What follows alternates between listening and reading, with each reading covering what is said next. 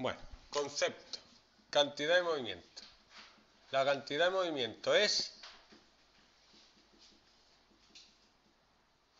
Se representa por P, es un vector, porque es la masa, que es un escalar, pero tiene la velocidad, que es un vector. Entonces indica un poco eso. ¿Qué tiene movimiento? ¿Un cose o yo corriendo por cose? Porque tiene más masa y más velocidad. ¿Vale? Como una medida del daño que te puede hacer un aparato cuando te da.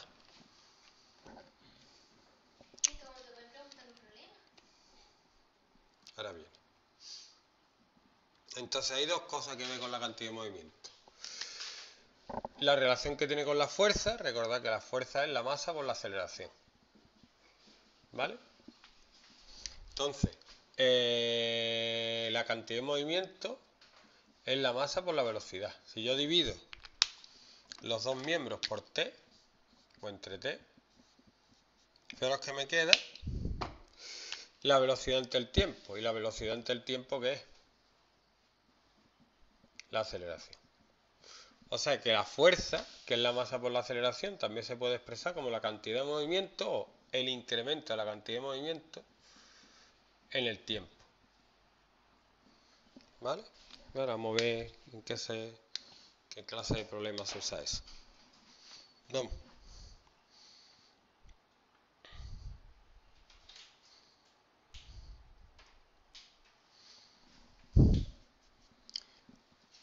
¿Qué más se puede despejar de ahí? Que la, cantidad de movimiento es la fuerza por el incremento de tiempo. bueno, pues ya puedo hacer tres problemas. Dice, haya el tiempo que tiene que estar actuando una fuerza constante de 15 newtons. Son los problemas de aquí de vuestro libro mismo. Sobre una masa de 10 kilogramos para que ésta adquiera una velocidad de 30 metros por segundo.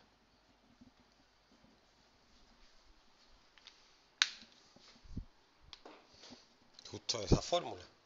Eh, sería la fuerza la cantidad de movimiento partido el tiempo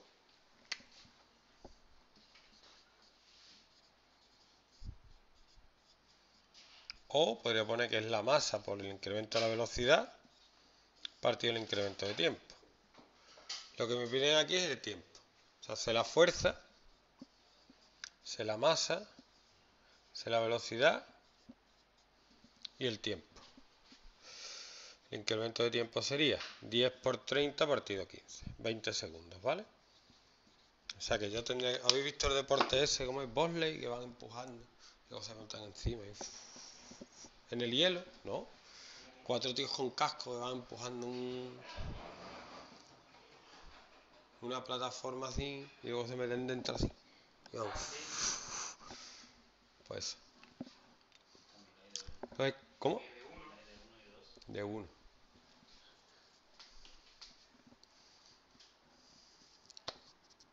Entonces, cuanto más tiempo estén empujando, con más velocidad empiezan. Y luego lo que tienen que ir lo más aerodinámicamente posible para que vaya más rápido. lo importante a lo mejor, no sé, yo no conozco ese deporte, pero los 20 primeros segundos. ¿Vale? Bueno, este es fácil. Otro. ¿Borro? Dice... Un bloque de, de plastilina de 50 gramos. Yo no escribo las unidades mal, ¿vale? La escribo directamente en el sistema internacional. Pero se me olvida pasarla y un infierno. Choca perpendicularmente con, un, una pared a 30 metros por segundo. Esa es la velocidad inicial. Y obviamente se queda pegada. Con lo cual, la velocidad final es cero. ¿Vale? El proceso ha durado 60 milisegundos.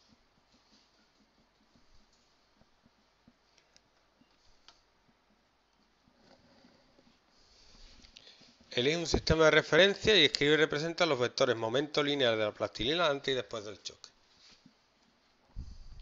Justo antes de chocar, este es el momento lineal. ¿Vale? Justo después de chocar, no hay momento lineal. cero.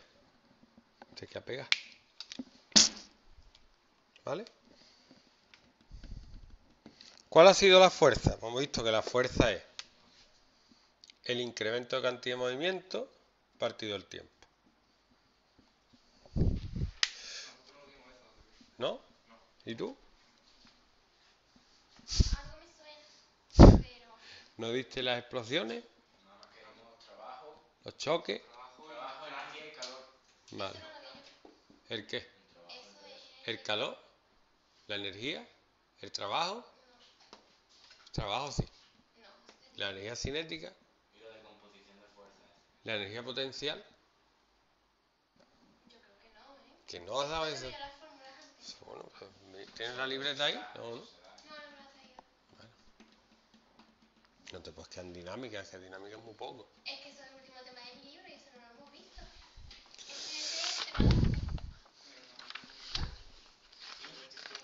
El tema El tema 11 son fuerzas y el tema 12 es trabajo. Ah, vale, pues ya está. Pero esto está en el 11. Y ya que estoy yo voy a terminar. Ya si no tenéis que hacerlo, pues mejor para ustedes. O peor. Peor para la ciencia y mejor para ustedes. Entonces yo puedo calcular el incremento de la cantidad de movimiento,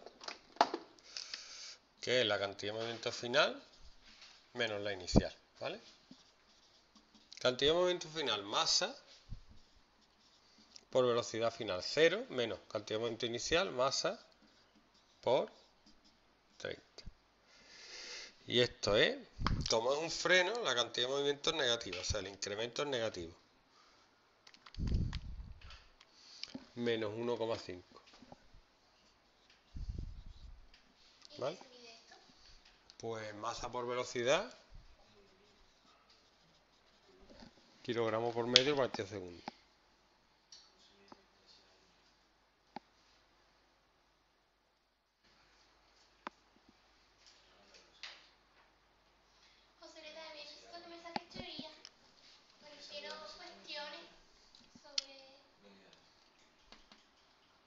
¿Física? Venga. Y luego la que me pide. La fuerza. ¿Qué fuerza es eso? La pared sobre la plastilina. Pues menos 1,5 y me dan el tiempo.